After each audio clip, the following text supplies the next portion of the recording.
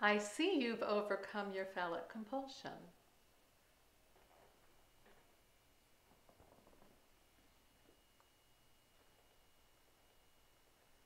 Oh, this. Yes.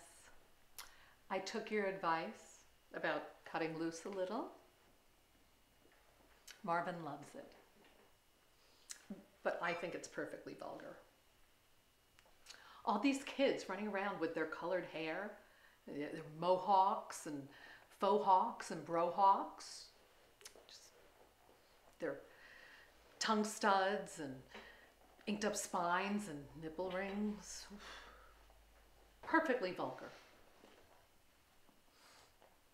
But just last night, Marvin couldn't stop saying how he thought it was Perfectly vulgar. Oh, I agree, dear. Wholeheartedly. Wholeheartedly.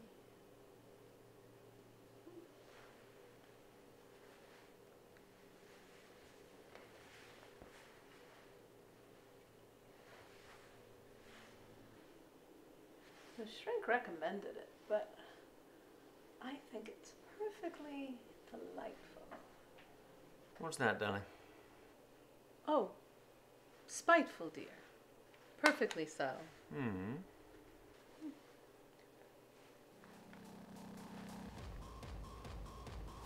Karen? Karen? Karen! Sorry, am I interrupting, darling? Listen to something nice, will we? Oh, just some light Chopin. Chopin? Wonderful choice, darling. Anyway, Karen, would you mind preparing my tie for work tomorrow? I think you'll find the irons in the closet.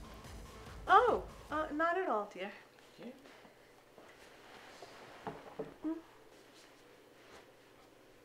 No, I wouldn't mind listening to some Chopin myself.